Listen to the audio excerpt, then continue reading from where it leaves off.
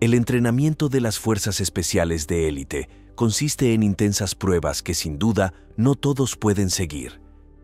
Desde Joto Bielogrom, Polonia, hasta SAS, Reino Unido. He aquí las ocho fuerzas especiales de élite con su rutina de entrenamiento más importantes del mundo. Número 8. Jotubuwe Polonia. Si cree que los polacos son lentos, obviamente no ha oído hablar de Jobubiwe Grom. La unidad militar especial polaca es una de las más formidables del mundo. Son a los que llaman los Estados Unidos, cuando tienen una misión tras las líneas enemigas que quieren mantener muy secreta y silenciosa. Jobubiwe Grom se especializa en operaciones furtivas y ha participado en numerosas misiones nacionales e internacionales de alto perfil. No me sorprendería que no hubiera oído hablar de Grom, ya que suelen operar en la sombra. Siguen un riguroso y exigente régimen de entrenamiento que incluye evasión y escape, supervivencia, lucha contra el terrorismo y rescate de rehenes. Sin embargo, lo más duro es el entrenamiento de buceo de combate. Para este ejercicio, un soldado debe ser capaz de aguantar la respiración hasta dos minutos en agua helada mientras realiza diversas tareas e incluso combate. Ni que decir tiene que no muchos están dispuestos a someterse a lo que es esencialmente una tortura para convertirse en uno de los mejores combatientes del mundo. Además, tienen totalmente prohibido beber alcohol y meterse en peleas fuera de sus tareas. Debido a su entrenamiento especializado, se les considera extremadamente peligrosos incluso sin armas, por lo que el gobierno polaco se aseguró de mantenerlos bajo control. Toda la unidad consta de solo 1.500 miembros. Están armados hasta los dientes con equipos altamente especializados, como gafas de visión nocturna, varias granadas y granadas de destello, herramientas para abrir brechas y mucho más. Su arma preferida es el pulido fusil de asalto modular FB-MSBS, esta arma es un fusil todo en uno, ya que puede utilizar diferentes componentes para personalizar el fusil en función de la misión, de modo que puede cambiar la longitud del cañón, el calibre y los accesorios. La unidad también cuenta con pistolas Glock 17 y Glock 19, el subfusil Heckler Koch MP5, la escopeta Remington 870 y el rifle de francotirador de boina M82. J.W. Grom es cualquier cosa menos una broma. Se trata de una fuerza militar altamente entrenada y especializada que es a la vez letal y sigilosa. El hecho de que carezcan de la fama que tienen otros de esta lista no es más que un reconocimiento a su excelente trabajo como fuerza de combate secreta que opera en lo más profundo de las líneas enemigas. Aún así, tienen un largo camino por recorrer para alcanzar a sus principales oponentes, los rusos. Número 7. Grupo Alfa de Rusia. Las fuerzas rusas son un poco cuestionables, sobre todo después de que viéramos su llamado poderío militar en la guerra contra Ucrania. Aún así, no podemos subestimar a lo mejor de lo mejor del ejército ruso, sobre todo porque su lema es que donde quiera que aparezca el Grupo Alfa, se acaba el compromiso. Sí, el objetivo principal de estas unidades especiales de élite es eliminar. Así que, naturalmente, sus tácticas suelen consistir en disparar a todo el mundo, luego disparar un poco más, lanzar una o dos granadas y después hacer preguntas. Esto se puso de manifiesto en 2002, cuando los terroristas chechenos tomaron el teatro de Moscú. Cuando el grupo Alfa entró en combate, no solo se eliminó a todos los terroristas, sino que más de 100 de los rehenes perecieron durante la operación. No es la unidad más segura para salvarte cuando estás en apuros, pero es excepcionalmente eficaz cuando hay que eliminar una amenaza. Naturalmente, no es una tarea fácil. Para formar parte de esta unidad militar, los candidatos deben cumplir unos requisitos físicos, psicológicos e intelectuales específicos y demostrar aptitudes excepcionales en áreas como la puntería, el combate cuerpo a cuerpo y la toma de decisiones bajo presión. También deben tener antecedentes penales limpios y estar dispuestos a someterse a exhaustivas comprobaciones de antecedentes. Una vez seleccionados, los candidatos se someten a un programa de entrenamiento intensivo que abarca una amplia gama de temas, como puntería, reconocimiento, combate cuerpo a cuerpo, explosivos y otros conocimientos especializados. El entrenamiento está diseñado para ser física y mentalmente exigente. Además, se desarrolla para preparar a los candidatos para las condiciones extremas y las situaciones de alta presión a las que pueden enfrentarse como miembros del grupo alfa. Además de los entrenamientos habituales, como levantamiento de pesas, natación, resistencia, fuerza, combate cuerpo a cuerpo y otros ejercicios, los miembros de esta fuerza de élite se someten a intensos entrenamientos de supervivencia, como resistencia al dolor, caza, construcción de refugios de la nada e incluso autocirugía. A diferencia del ejército ruso en Ucrania, el Grupo Alfa está equipado con las mejores armas disponibles.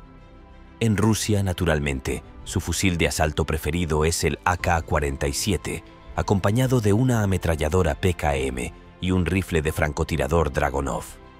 Aunque no te alegrarás de ver al Grupo Alfa asaltando tu casa, al menos los verás antes de que te disparen.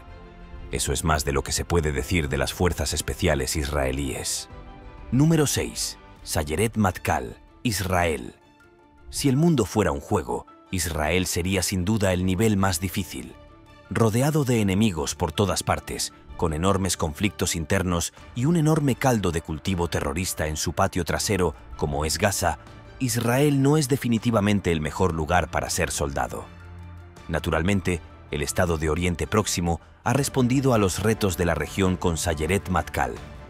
Esta fuerza militar especial de élite se creó en 1949 para garantizar la existencia de Israel frente a amenazas externas.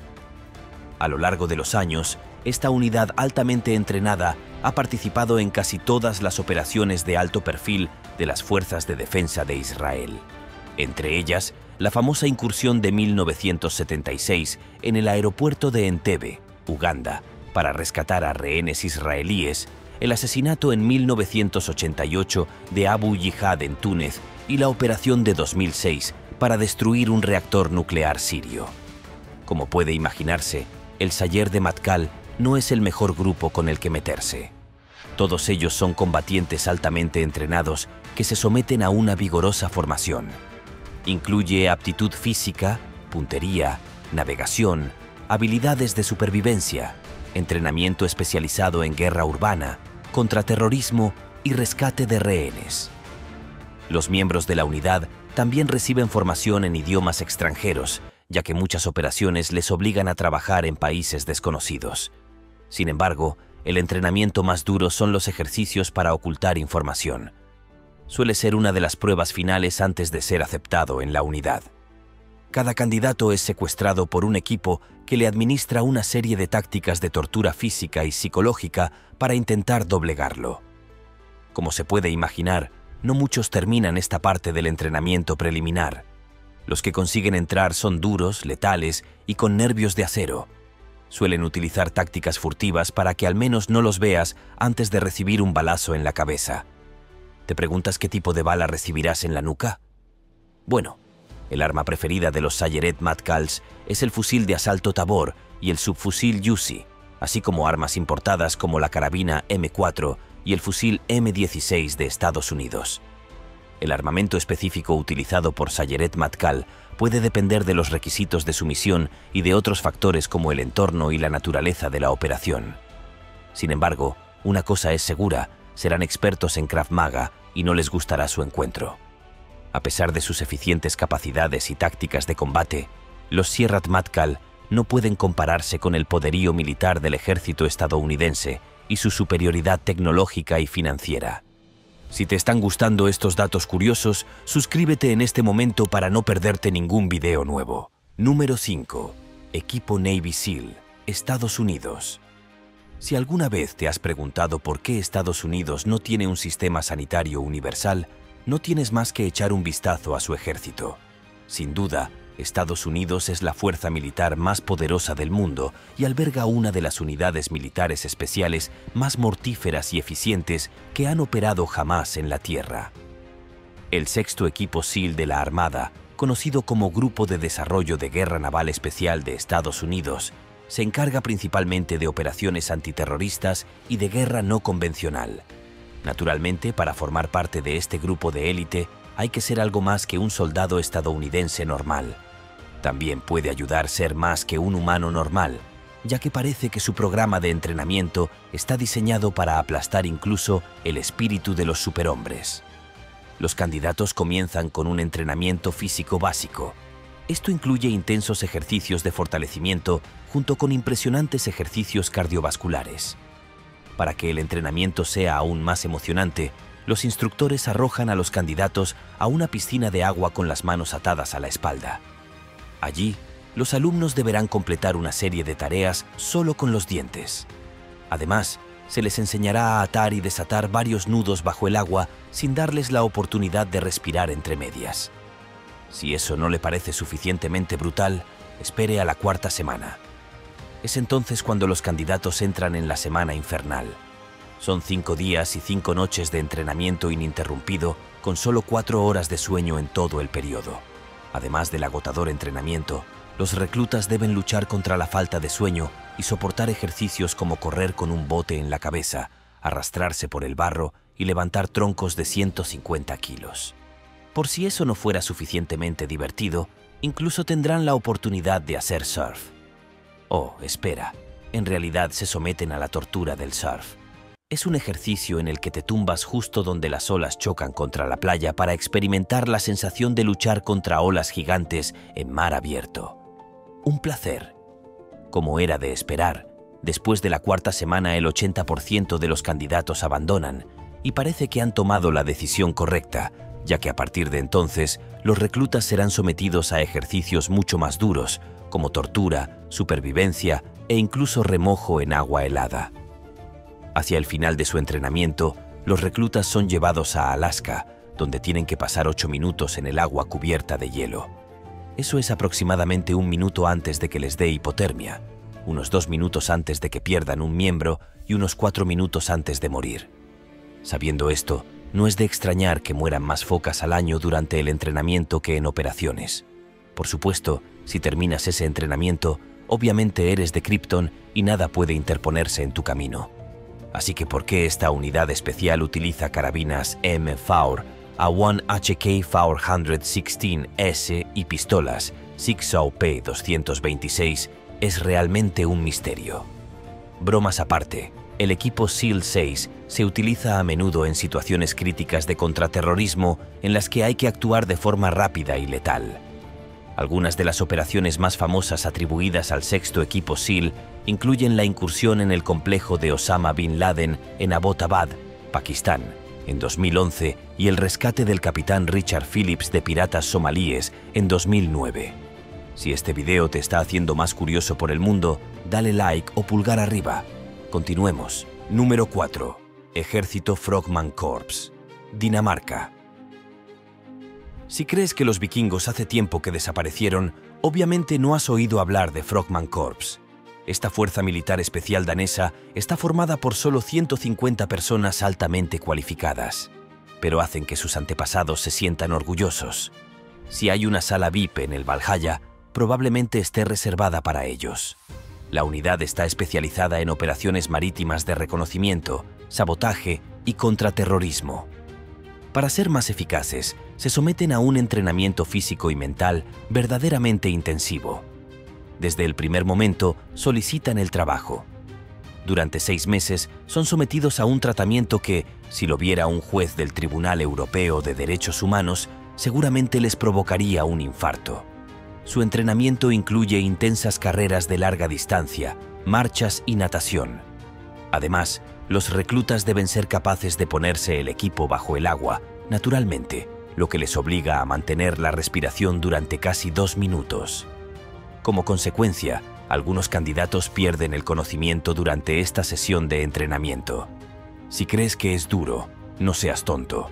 Es solo la primera semana. Este es el proceso de depuración y por lo general, solo el 10% de los candidatos siguen adelante. Para las 20 personas que quedan, la diversión continúa con entrenamiento de resistencia a la hipotermia en agua helada, entrenamiento de supervivencia severa y entrenamiento de buceo. Los pocos seleccionados continuarán con ejercicios especializados más enérgicos, como el entrenamiento en difusión de bombas y operaciones encubiertas, entre otros. Naturalmente, gran parte de la información sobre este equipo de élite se mantiene en secreto. Aún así, Lo más habitual es que utilicen el subfusil MP5, la pistola SIG Sauer P226 y el fusil de asalto HK416. El Frogman Corps ha participado en varias operaciones internacionales, entre ellas como parte de la Fuerza Internacional de Asistencia para la Seguridad en Afganistán y contribuyendo a la lucha contra la piratería frente a las costas de Somalia. ¿Se imaginan lo que les espera si estos tipos se quedan fuera de los tres primeros? Número 3. GIGN, Francia. El Grupo de Intervención de la Gendarmería Nacional es una fuerza de operaciones especiales dentro de la Gendarmería francesa. La unidad cuenta con aproximadamente 400 efectivos altamente entrenados y especializados en contraterrorismo, rescate de rehenes y otras operaciones de alto riesgo. Como puede imaginar, no son los típicos franceses estereotipados que fuman cigarrillos y manejan una baguette mucho más común es que empuñen un fusil de asalto HK-416, una pistola Sig Sauer P-226 o el fusil de francotirador FRF-2.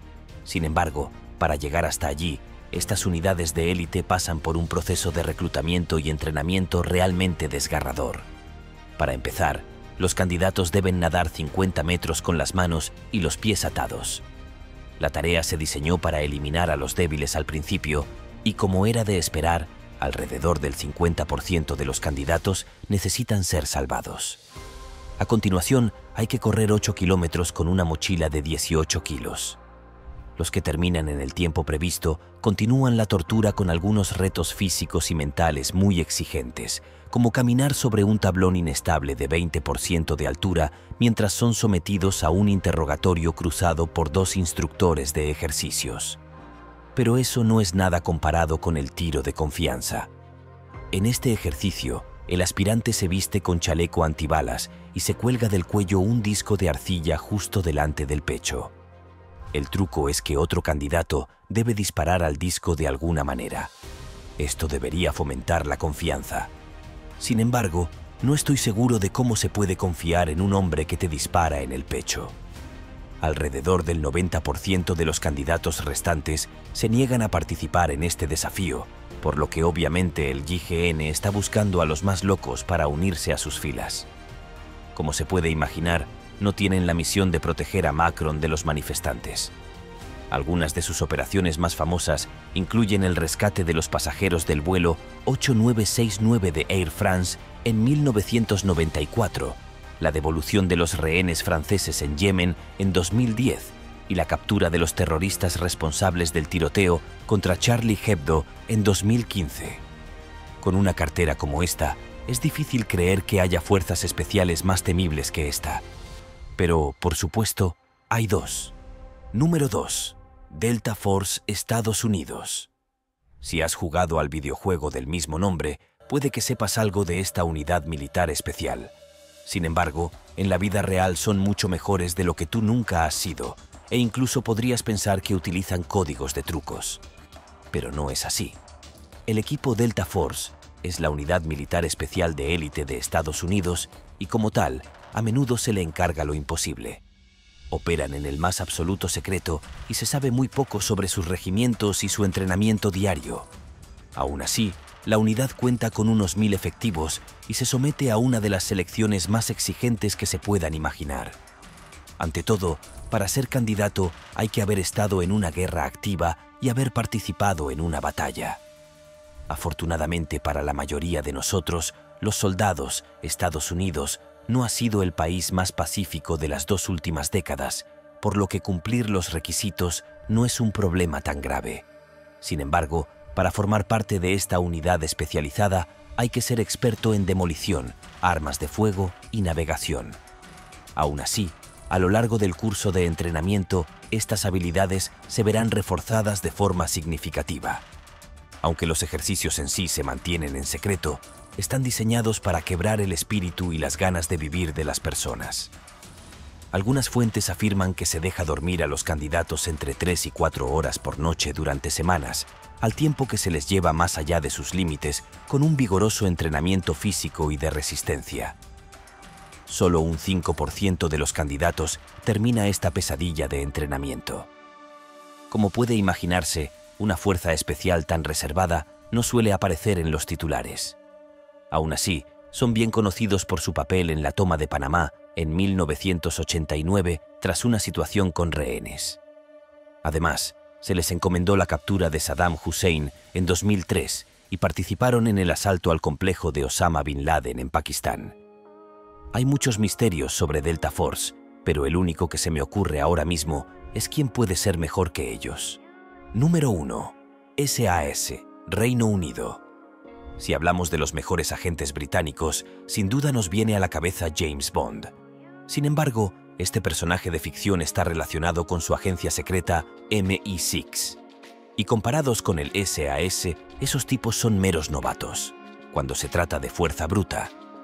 Los británicos confían en su servicio aéreo especial, más conocido como la unidad SAS. Se trata de las fuerzas especiales británicas encargadas de llevar a cabo diversas operaciones, como contraterrorismo, acción directa, reconocimiento y rescate de rehenes. El SAS se compone de cuatro regimientos, cada uno de ellos con varios escuadrones operativos. El número exacto de efectivos del SAS está clasificado, pero se calcula que ronda los 400.500 miembros. Naturalmente, para formar parte de la mejor unidad militar del planeta, debes ser más que un simple humano. De hecho, no estoy seguro de que incluso los semidioses estén permitidos. Los que pueden terminar el curso de formación SAS deben ser nada menos que dioses después de todo. Su principal tarea en el campo de batalla es infligir el mayor daño posible en el menor tiempo posible tras las líneas enemigas sin sufrir bajas. Este ambicioso objetivo obliga a los alumnos a someterse a un entrenamiento físico y mental insoportable. La mayoría de los escuadrones de élite tienen una semana infernal para eliminar a los candidatos no aptos. El SAS tiene un entrenamiento infernal de cinco meses. Incluye seis maratones en solo cinco días. Y como eso obviamente no es lo suficientemente duro, los candidatos deben llevar 25 kilos de ladrillos en sus mochilas durante todos los maratones.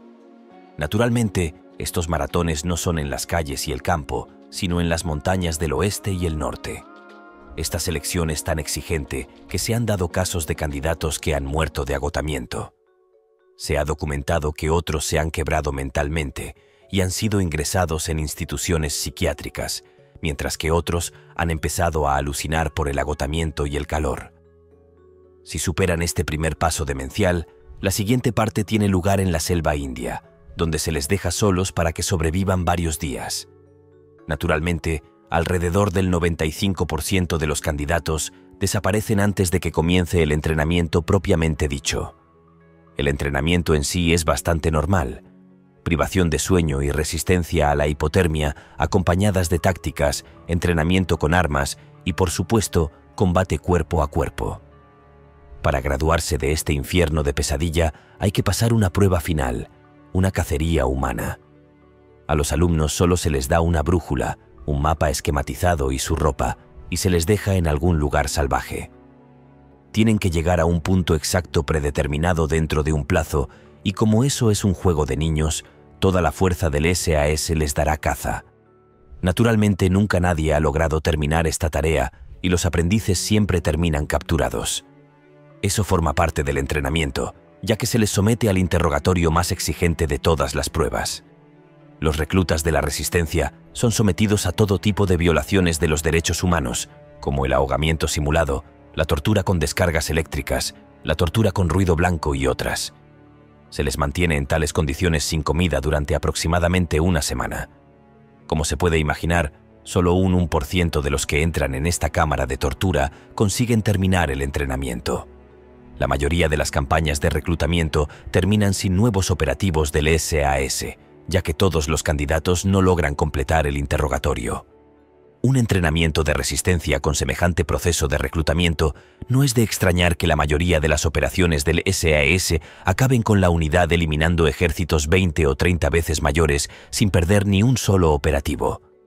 El SAS ha participado en varias operaciones de gran repercusión, como el asedio a la embajada iraní en Londres en 1980, la Guerra del Golfo en 1991 y la Guerra de Afganistán. Una de las operaciones más famosas del SAS fue la Operación Nimrod en 1980, que consistió en el rescate de rehenes de la Embajada iraní en Londres. Nos vemos en el próximo video.